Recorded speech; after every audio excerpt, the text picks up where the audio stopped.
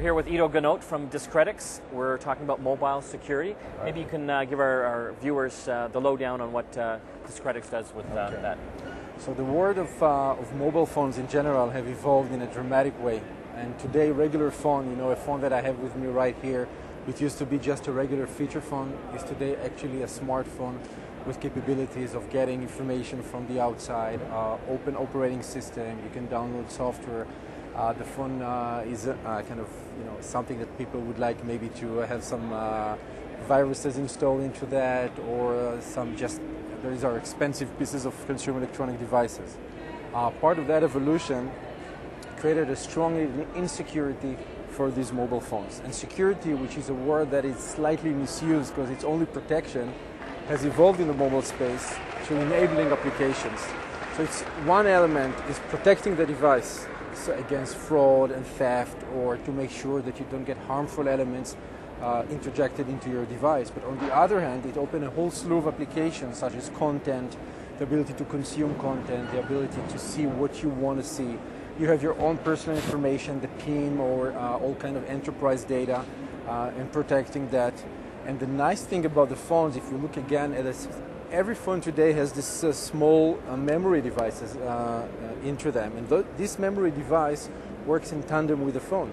So that needs protection as well because it contains a lot of information from content through your personal or enterprise data. What Discretix does is working in this ecosystem, being a leader in this field of protecting the phone and the memory device by way of what is called embedded security. And embedded security is a term which has just recently, in the last few years, started to be coined and recognized globally. Is that you protect the actual basic assets of the phone, all the way through the hardware based security, which is the chips that run those phones and the chips that run this uh, memory unit. They are protected by the Discretix IP and the Discretix technology. Uh, with a slew of applications, uh, what is called the security middleware layer and security applications such as digital rights management, which is today uh, carried, you know, uh, every label wants to protect their content. Uh, there are examples uh, here at the show. Uh, SanDisk, for example, on the memory devices protect their uh, the entire memory devices that they have, be USB or memory cards with the Discretix technology.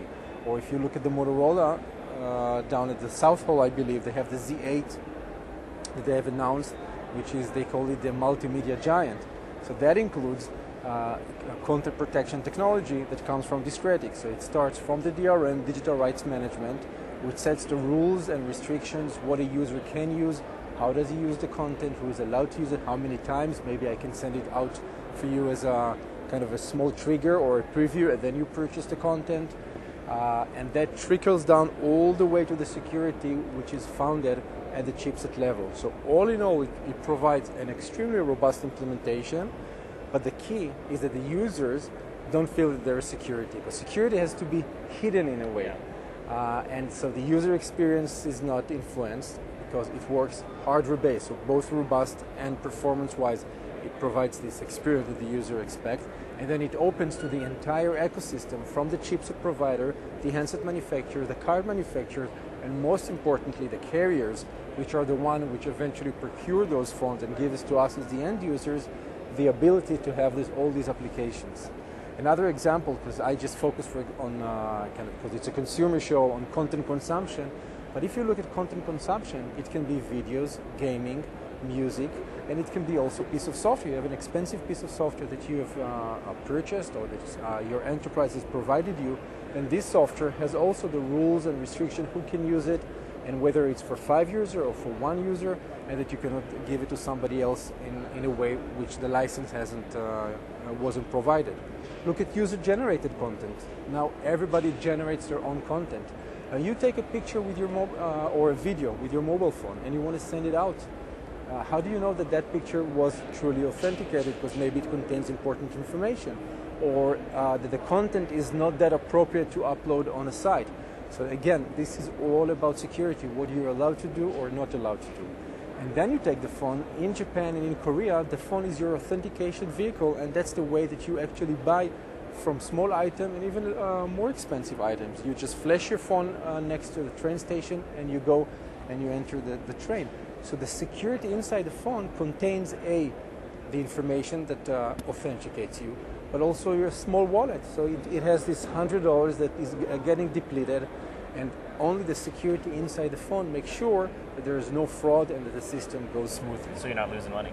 And you're not losing money. Very so cool. all these kind of applications today, they're just keep on mushrooming, and all starts from this embedded security, which is rooted in the chipset and goes and. Uh, uh, provides this application inside the device itself. And the best part is that the user doesn't have to worry about it. It's just embedded. You work It's right with the embedded. manufacturers. Yeah. So for the users, all they know that all of a sudden they've got content available in various forms. They can do subscription. By the way, subscription is security. Yeah. Because what is subscription? How do I know that I've subscribed and I have a right to use it for 10 months or for a year? This is all. So in terms of the users, they have this application. They know that they can put their credit card information on the phone and it's secure. They know that if they lose the phone, nobody can use it anymore. Uh, so, and they can uh, trust their own uh, important information inside that phone. So they use the security and they use the application without hindering the user experience. The battery uh, time stays the same, and it all is because that's what is called hardware-based security. It comes rooted from the basic uh, processor that runs this uh, consumer electronic unit. You know, the phone is just, it's a consumer electronic device nowadays. Exactly. Uh, where, where can people find out more information about Discretix? Uh, just uh, visit our website, which Yes. is www.discretix.com. Uh, has uh, both market information, uh, where can I use, you know, this kind of embedded security, what kind of application, and all for the actual for the uh, uh, chipset providers and the handset manufacturers, what can they embed to empower their ecosystem and their customers to have better applications and uh, Well, security. thank you very much, Edo, for joining Thank us. you.